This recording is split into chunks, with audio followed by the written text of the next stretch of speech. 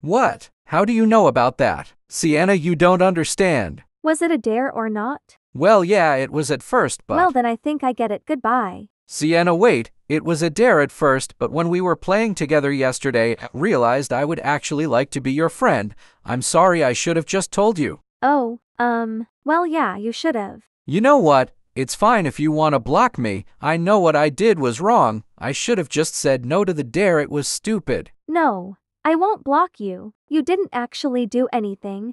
You realized it was wrong and apologized, so I guess I can forgive you. I had a lot of fun hanging out with you too. Really? I'm so glad. I'm guessing you know that all the stuff about Jennifer was also a lie, too. Yep.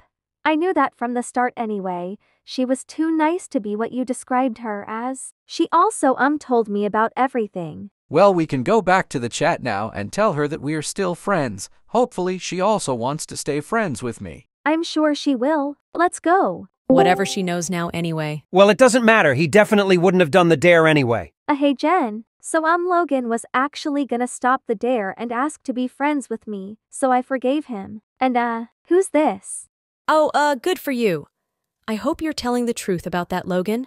And this is Alex, the one who dared Logan in the first place. Yeah, sorry. I thought it would be funny. And I was telling the truth, Jennifer, I promise. Well, guys, apart from all this, you guys seem really nice. So can we just forget about the dare and stuff and just be friends? Of course. The end.